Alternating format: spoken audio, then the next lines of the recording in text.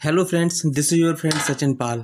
आज मैं आपके लिए फिर से एक नई स्टोरी लेके आया हूँ, जिस स्टोरी का नाम है, छोटी छोटी बातें बड़ा फ़र्क डालती हैं।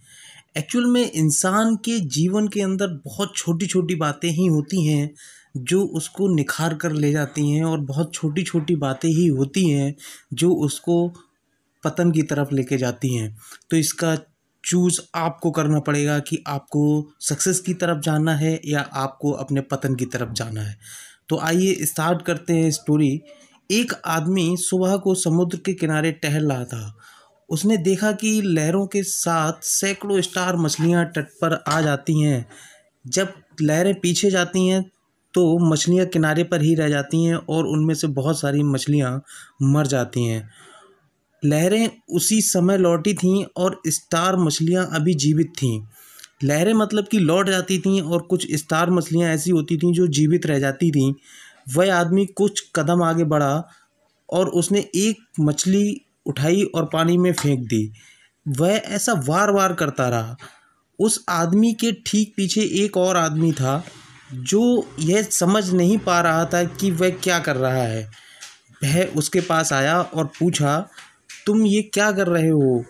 तो उसने जवाब दिया, ये सैकड़ों मछलियाँ किनारे पर आ जा रही हैं, लेकिन इनमें से एक मछली को ही उठा के क्यों फेंक रहे हो?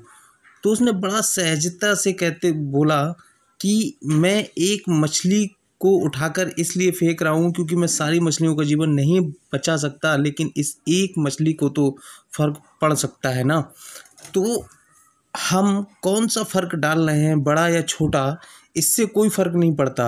अगर सब लोग थोड़ा थोड़ा फ़र्क लाएँ तो बहुत बड़ा फ़र्क आपकी लाइफ में पड़ सकता है।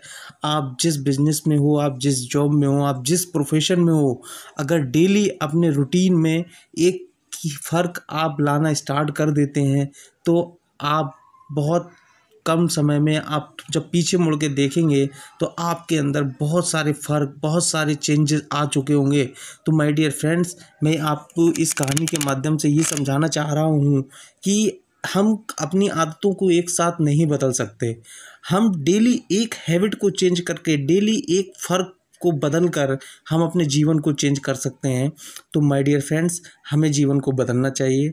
तो हमारी स्टोरी का यही माध्यम था। Thank you so much bye bye take care